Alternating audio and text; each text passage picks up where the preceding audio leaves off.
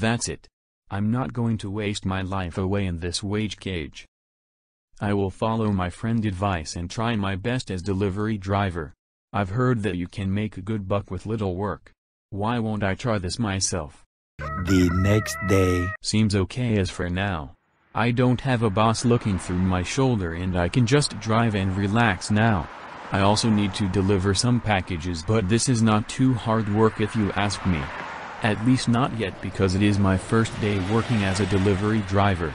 One eternity later. Home sweet home. I can't wait to relax after a hard day of work. That day of work was okay. I'm not that tired.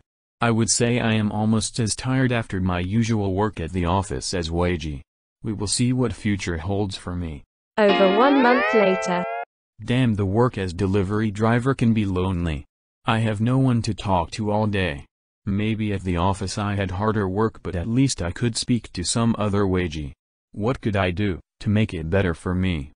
I know. I have a great idea. My mom has a dog and I like spending time with him. Maybe he will accompany me tomorrow. Ready boy. Who's a good boy? Woof woof.